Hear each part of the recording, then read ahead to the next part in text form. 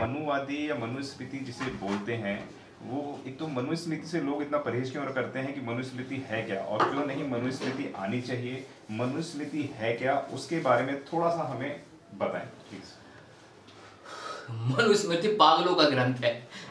मनुस्मृति को लिखने वाले व्यक्ति का नाम था महर्षि मनु। जी। वो दुनिया का सबसे बड़ा बेवकूफ़ अगर कोई था तो महर्षि मनु था। वो कहता था कि जो पृथ्वी है वो चपटी है। लिखा हुआ उसमें। मैंने पढ़ी है। और अगर आपको पढ़नी है तो मनुस्मृति खरीदना, कुल्लू को भटकी। लिख लो इसे। कुल्लू को भटकी मनुस्मृति खरीदना। बाकी सारी मनुस्मृति इन मनुवादियों ने बदल दी है। ये बड़े चलाक लोग हैं। मैं समझता हूँ लोग मेरे पास है मैं तो रख रखी है कॉपी। भाई साहब संभाल के रखिए जिस दिन मुकदमा जाएगा सुप्रीम कोर्ट में मेरे खिलाफ, मैं उसी को लेके आऊँगा। कुल्लू को भटकी। तो वो कह रहा है कि पृथ्वी चपटी होती है। अब आप सोचो, पृथ्वी चपटी है। है, है ना पागल आदमी? अच्छा चलो पृथ्वी चपटी है। दूसरा वो कह रहा था कि जो पृथ्वी है पृथ्वी स्टेगनेंट है और सूरज पृथ्वी के चारों ओर घूमता है। ऐसा होता है क्या? है ये पागल आदमी। जबकि सीन क्या है कि पृथ्वी ओवल है गोल है लेकिन गोल भी पूरी तरह से थोड़ी सी ओवल है टिल्ट है हल्की सी। और वो सूर्य के चारों ओर चक्कर लगाते हैं और अपनी कीली पर भी घूमती है। अपनी कीली पे जब घूमती है तो वहाँ पे 24 घंटे में दिन और रात हो जाते हैं। और जब सूरज के पूरा चक्कर लगाती है तो तीन सौ पैंसठ दिन तो पूरा साल हो जाता है। लेकिन इनके यहाँ सीन क्या है कि जो पृथ्वी है वो एक बिजा, बिजार समझ के सांड सांड के सींग पे रखी हुई है। अब जब ऐसे रखा हुआ सिंह पे यूँ रखी हुई पृथ्वी तो थक जाता है एक ही फिर उसे पलटी मार के दूसरे पे लाता है। तो जैसे ही सिंह बदलता है तो तब आता भूकंप। तो ऐसी बेवहुदा, बेवकूफ़ी वाली और बचकाना हरकतें उसमें लिखी हैं। और एक बात और बताऊँगा, क्यों पागल मैंने कहा उसे? वो ये कह रहा है कि मनुष्य की उत्पत्ति कैसे हुई? मनुष्य की उत्पत्ति अगर मतलब साइंटिफिक दृष्टिकोण से देखो, मैं क्यों बुद्धिस्ट हूँ और मैं साइंटिफिक विचारधारा में विश्वास रखता हूँ। कैसी उत्पत्ति? पानी से हुई।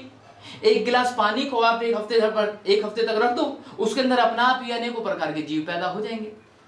खुद बताया, विज्ञान कहता है कि सबसे पहले एक कोशीय जीव पैदा हुए, फिर बहुकोशीय जीव पैदा हुए। एक कोशीय कौन से थे? पैरामीशियम, युगलीना, अमीबा, ये एक कोशीय जीव हुआ करते थे। फिर जो है बहुकोशीय जीव बनते चले गए। इस तरह से धीरे धीरे पहले वनस्पति आई थी, फिर जीव आने लगे, लेकिन उत्पत्ति पानी से हुई है।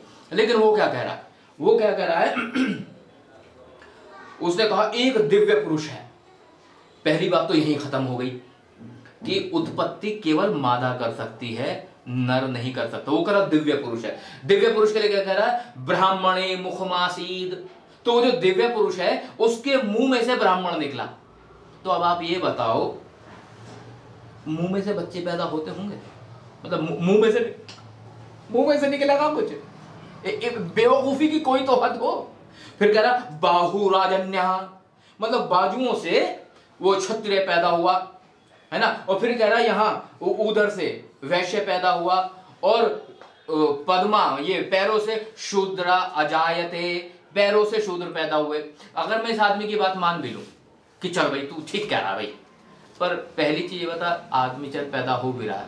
तो एक आध जगह से पैदा होगा, एक आदमी के चार चार जगह से बालक होंगे बुद्धि खराब होगी क्या बिल्कुल? तो इसलिए मैं इस आदमी को पागल कहता हूँ। मूर्ख आदमी है बिल्कुल। उसने प्रकृति को सिस्टम ही बदल दिया। पहला सिस्टम बच्चे मादा पैदा नहीं करेगी, बच्चे नर पैदा करेगा। और फिर एक जगह से नहीं, वो चार चार जगह से करेगा। मुँह में से भी करेगा, हाथों से भी करेगा, पेट से भी करेगा और पैरों से भी करेगा। तो इसलिए मनुस्मृति नाम का जो ग्रंथ है, ये मूर्खों की परिकल्पना है।